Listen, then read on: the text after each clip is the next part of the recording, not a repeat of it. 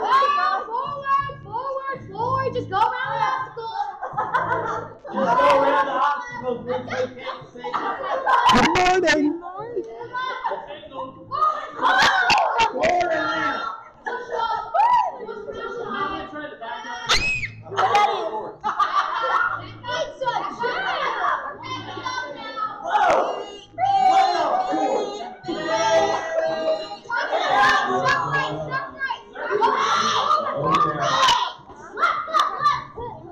What if I just forcefully? That's a very good choice. Oh, what's that, Matt Ryan? All right. Don't go left, turn right. There you go. Can I open the door for him? Kayla, what's up?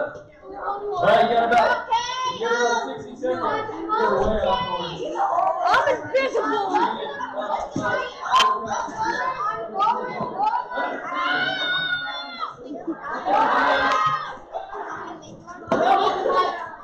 I need the mic. I don't know.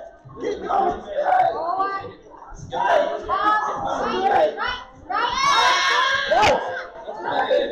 Almost there.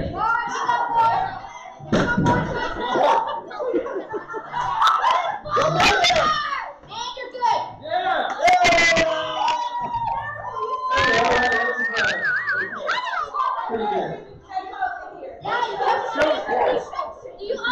What? You're in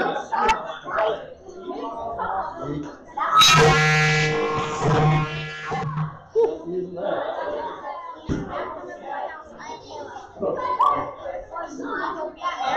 Check. Hey, Tucker.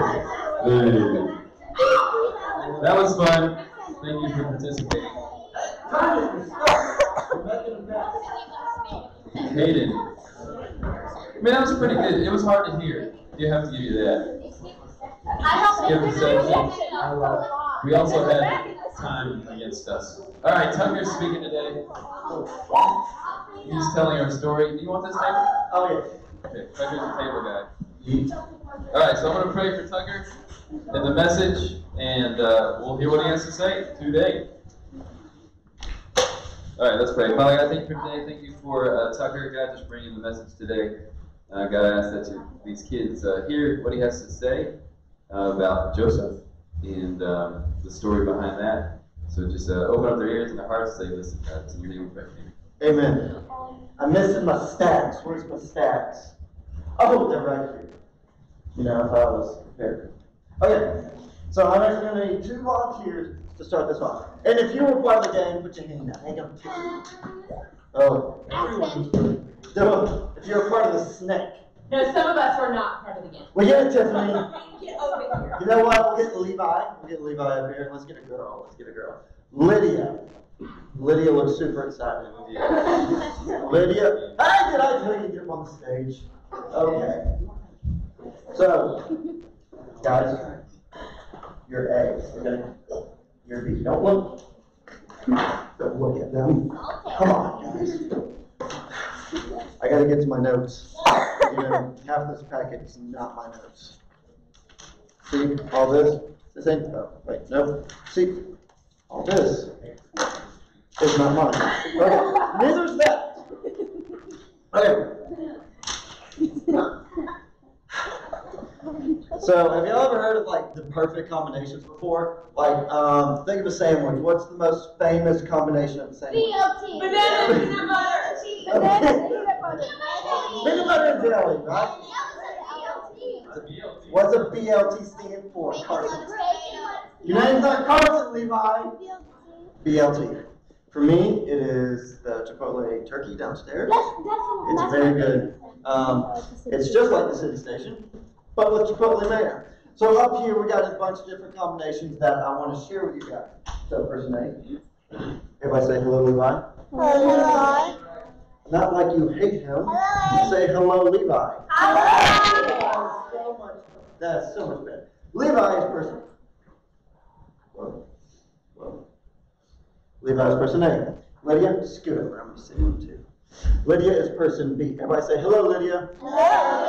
Again, not like you hate Lydia, say it again. Okay, in their hands, there are different combinations that are just beautiful combinations, okay, right? So I'm gonna blindly. And our first combination is Chips and Thunder! Delicious, yet loud, okay, so. You love their chips and thunder. Yes. Beautiful, me too. Chips. This is what the, this is what the French call chips, okay? In America, I don't know my stuff. Okay? So the French probably call them crabs.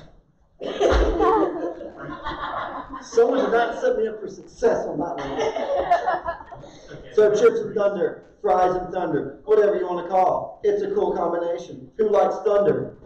Who likes chips slash french fries? Perfect. You love chips and thunder. You would love shoe roll. Oh, get it? You know, like how you take your shoes off and you throw them, and they kind of roll.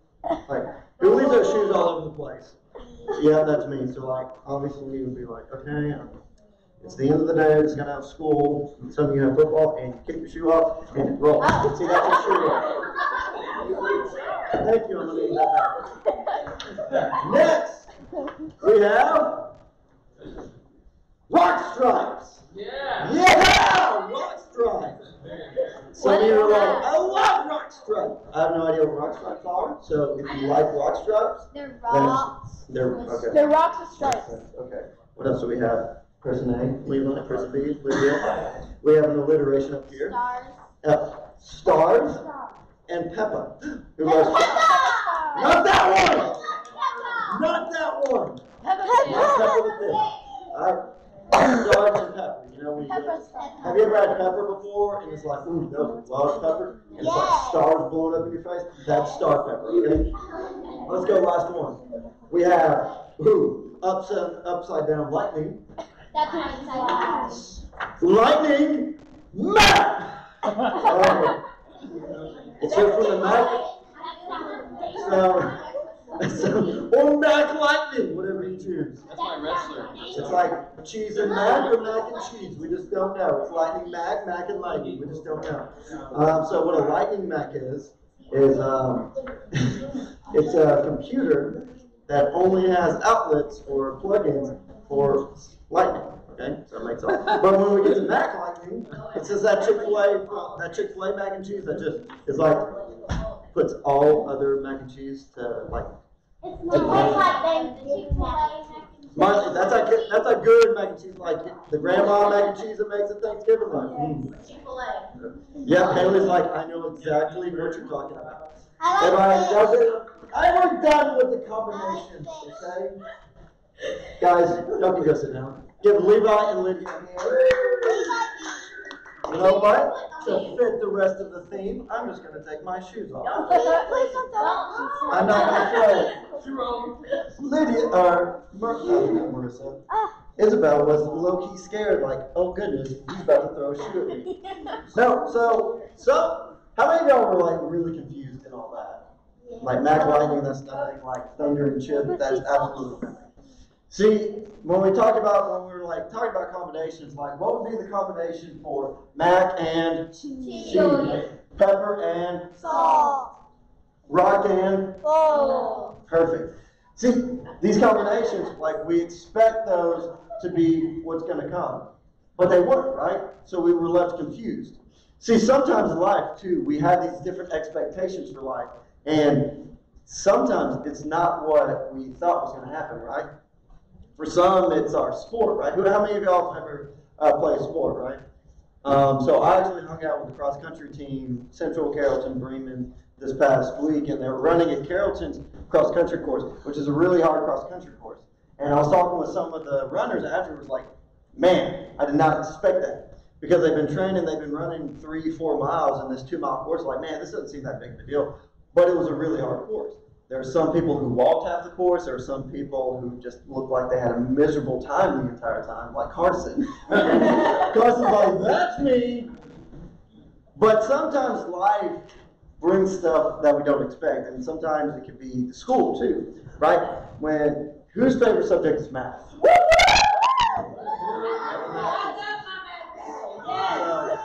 I made 100 in all. So I have 100. I like. Good job, Gracie. I I like. know, right? And I have 100 You like lunch last better? year. Whose favorite fun. subject's lunch? Me.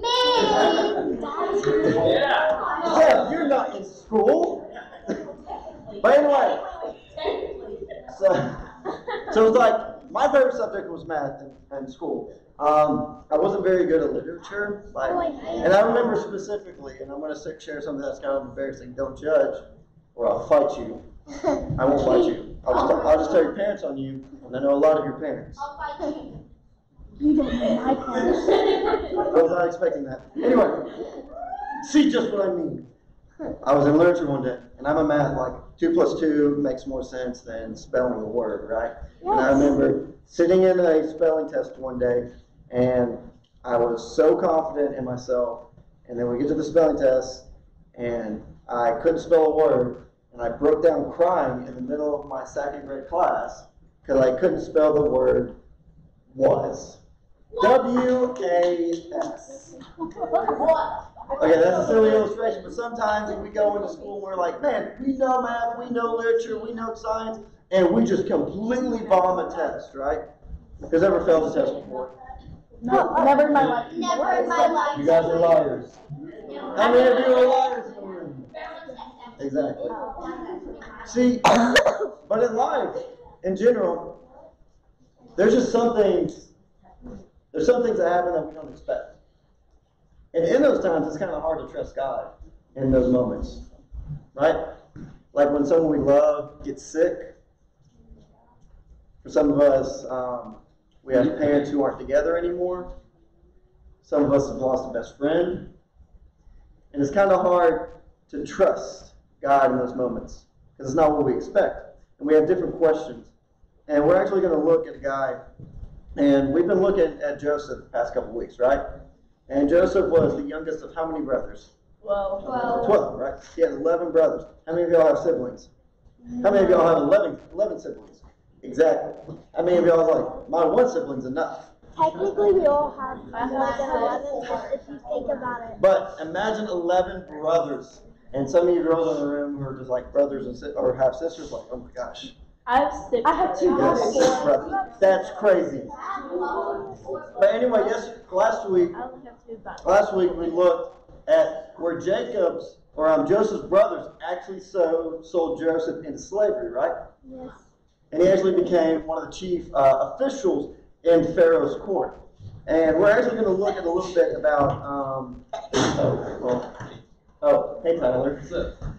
Well, what are you doing? I'm trying to teach what happened Oh. to Joseph in Egypt. This is one of my favorite stories. So can I, can I help you tell it?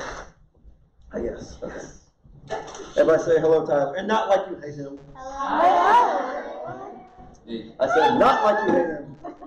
Hello, Tyler. Come on, guys. Hey, Tyler. Tyler expect, deserves more. Okay, so anyway, Joseph actually became um, a helper in this guy's um, house named Potiphar. He was like a chief official in Potiphar's house. And to demonstrate, this is a hat. It's like a captain, someone who's high official. So, Joseph was sold into the house of a man named Potiphar, who was the captain of the guard. And not sure what kind of captain he was, but he probably wasn't like a pirate like this hat um, demonstrates. But anyway, they lived in the desert. There probably weren't any boats. Do you know where Egypt's at? The It's in. Africa. there's a river. There is a river, Wait. but not a lot of boats. Anyway, so Joseph lived in Potiphar's house, and since God was with Joseph, God gave Joseph a lot of success. Oh, Let's see what's it. It's, it doesn't really say Joseph, but let's pretend it says Joseph. Joseph, see, Joseph get it? Oh gosh, that's a little. Oh, it's a snapback. Oh, hold on, we're about to get cool in here. Ready, guys? Yep.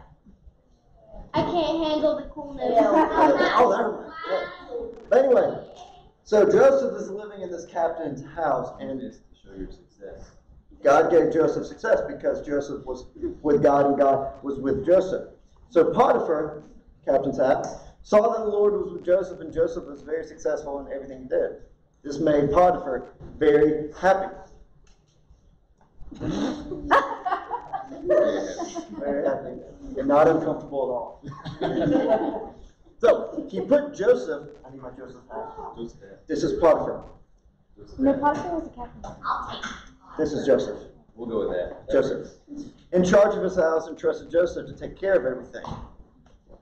Need a clipboard. Oh, thank you. So Joseph was in charge of everything in Potiphar's house because Joseph was very successful in everything he did, and Potiphar saw that Joseph had God with him, so he gave Joseph more responsibility. From that time on, the Lord blessed Potiphar's house and household, and because of Joseph, Joseph did a great job, and Potiphar didn't have a care in the world. Get it? So, Joseph's boss. So, pretty soon, Potiphar had a wife. And do we know what Potiphar's wife's name? No, Potiphar had a wife. And she saw Joseph. And she noticed Joseph, um, oh gosh. Come on, You get a very beautiful woman. Thank you. Yes, Potiphar's Potiphar's wife. wife. Gorgeous. She's a I want to bless it. So Potiphar's wife, oh yeah, that, that's not it. Potiphar's wife actually began to test Joseph. Oh gosh. Here's your test. Standardized test. Get it? Okay. So, she knows how successful he was. She began to test her. And it's not this kind of test, but she she told Potiphar that thing, uh, to make things difficult for Joseph. And day after day, she would say, she would make every, don't take pictures of me. A very distracting time. So, Potiphar's wife was like, hey, Potiphar, make things difficult for Joseph. And again, it wasn't like this kind of test. It was like, make him do really hard work, make him do this, make him do that, make his life very uncomfortable. But all these tests, and this hair is getting in my mouth, all these, all these tests, Joseph was becoming very successful in it. Joseph was accomplishing the test, he was passing the test.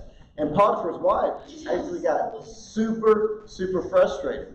So Potiphar's wife decided to tell Potiphar that Joseph. Angry. Angry. Uh, Potiphar's wife is furious. Potiphar, got it. So, so Potiphar's wife told Potiphar, remember this guy that Joseph is living with, this guy that Joseph is actually under, that Joseph did some actually very awful things to Potiphar, or Potiphar's wife. And it wasn't very true. So word got out, Potiphar got frustrated, Joseph got out of town. And Joseph didn't do anything wrong. Oh gosh. But Potiphar was after him. Like, you can't do that to my wife. You can't say these things. You can't do these things. So Joseph just decides to leave town. And again, just like we found him in that hole last week, right? After his brother sold him into slavery, he's in this hole all by himself. He's alone. And again, he finds himself alone again. Ooh, I need this. Oh gosh. I'm not singing this. You sing very well. We've all heard how well you sing. Yeah, I heard that. Have. You have heard We how well have. you sing. Oh, yeah. Okay, Ready? ready? Yes. Ready for this? Hold one? on. You sure? I need to in, channel my inner Celine Dion. Okay. Okay. All by myself. Perfect. Okay.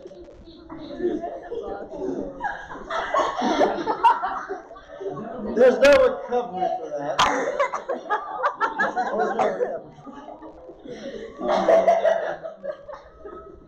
So Joseph actually ends up in jail. He's all by himself. And the Lord was still with him. And just like in Potiphar's house, the head of the jail, police officer, huh? So, because Joseph is living this life, this extraordinary life, even though he's in prison, even though he's all by himself, the prison guard actually notices that God was with Joseph.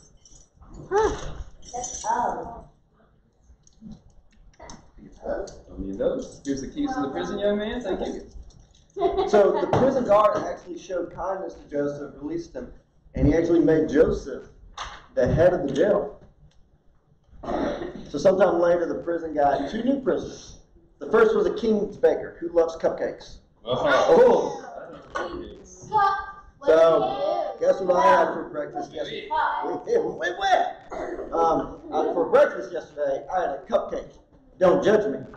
For dinner yesterday, I had three cupcakes. Again, don't judge me. So yesterday, over the course of a day, I had four cupcakes. So the second prisoner was a cupbearer. Oh, Jealous. oh gosh, this is like real glass.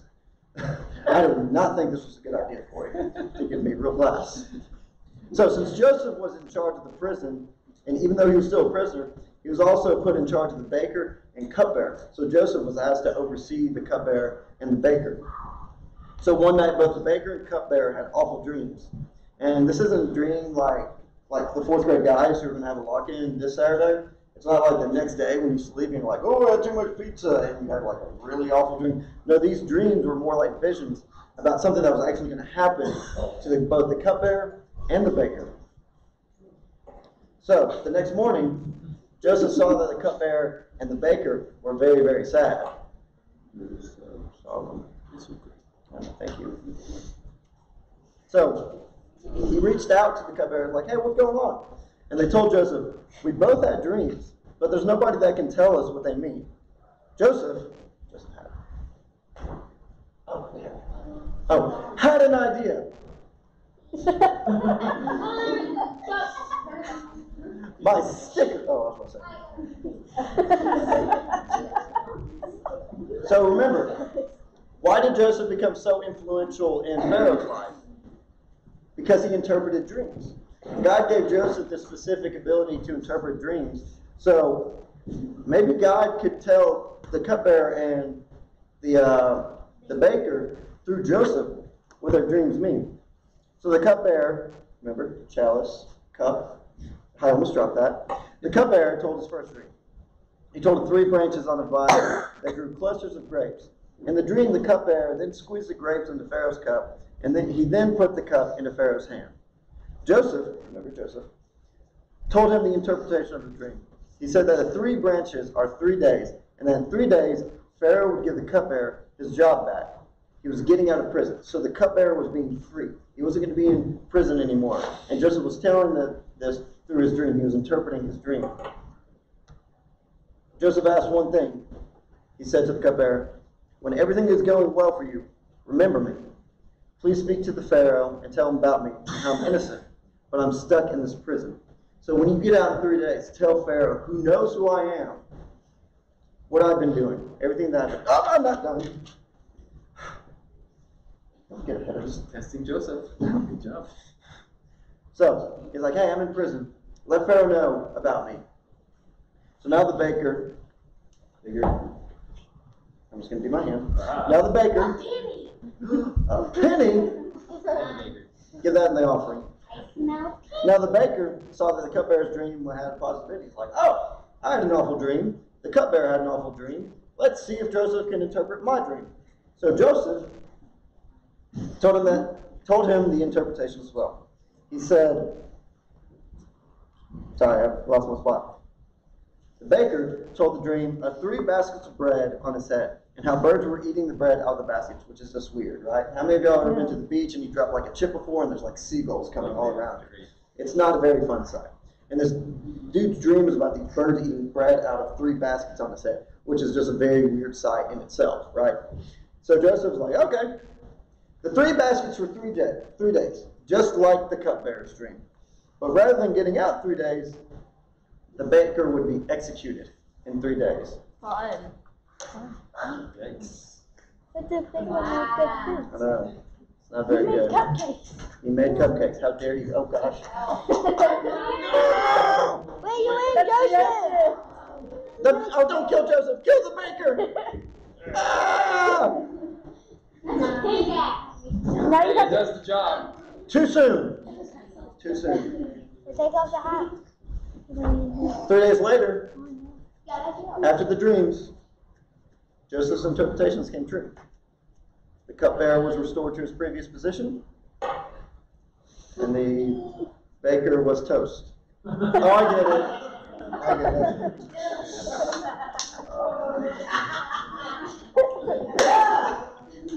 Very clever. This is what we use as an analogy. Now, the third day happened to be Pharaoh's birthday, and the cupbearer was once again standing next to um, him in his dream. Now remember how Joseph was asked one simple thing from the cupbearer? He asked the cupbearer one thing. What was that? Tell the To remember, right? Uh, before we go any further, everybody give Tyler a big round of the hands.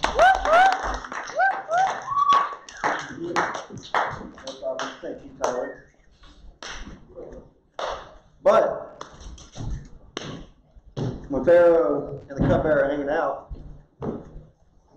cupbearer didn't say anything about Joseph. And you gotta think, that's a tough position for Joseph to be in, isn't it? He's in jail for doing something he didn't do.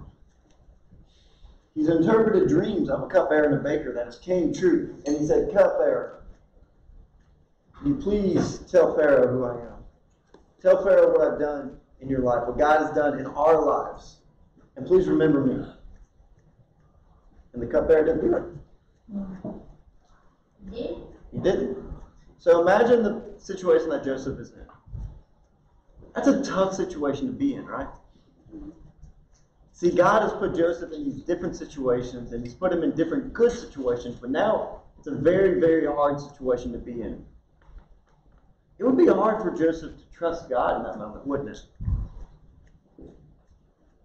Let's make it a little bit more um, personal, right? See, we're going to a new school, and our parents are talking about all the good things that are going to happen in this new school year, in this new class, and we sit by ourselves at lunch.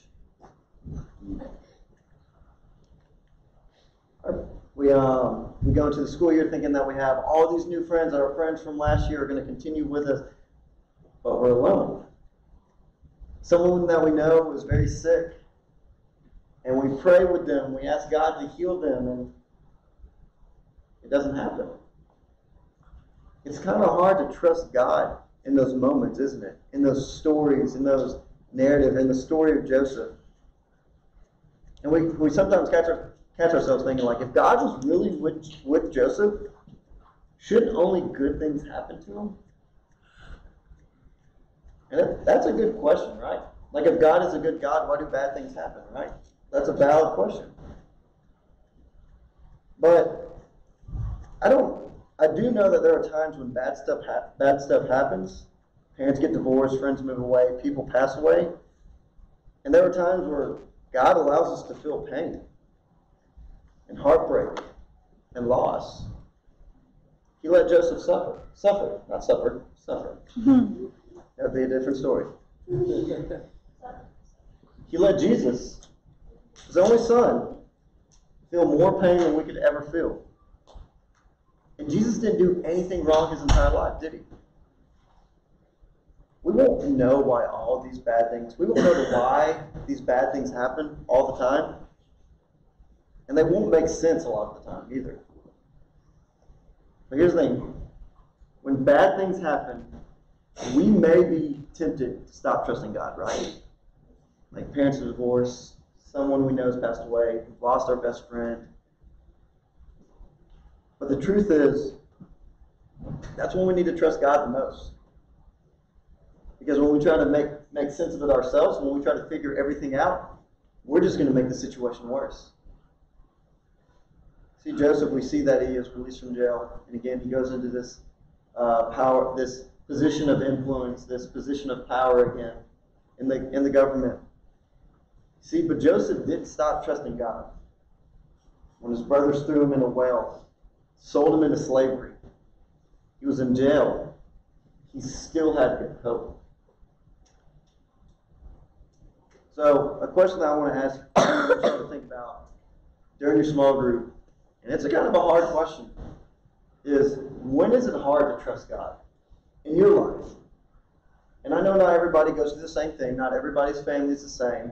Everybody has a unique, different story. So there should be a unique answer to this. Is when is it hard for you to trust God? And before we go any further, I want to read the memory verse. And just listen to these words. Trust the Lord with all your heart. How much of your heart? How much of it? Oh, not just a little bit. Not even just half of it, but all of it. Be all in. Have your heart surrendered to God. Do not depend on whose understanding? Us. Trust the Lord with all your heart, and don't depend on your own understanding. Trust in God. Don't trust in yourself. Because we're gonna make the, uh, the waters muddy, we're gonna make the situations worse. So trust in God, who is in complete control of every situation, who does allow pain and suffering to happen, and we may not know why, but we know that God is still a good God, right? That God is a God of blessing, He's a God of hope, He's a God of love. And yeah, we may be going through a difficult situation, but we know that our confident hope is in Jesus. Okay? Does anybody want to pray us out before we go into uh, worship? JJ, you want to pray? I- I'll get you my son. You got it. All right, let's pray. Dear Lord, I hope we have a good, good uh, worship time and hope we play God into this time and worship good. And amen. Amen.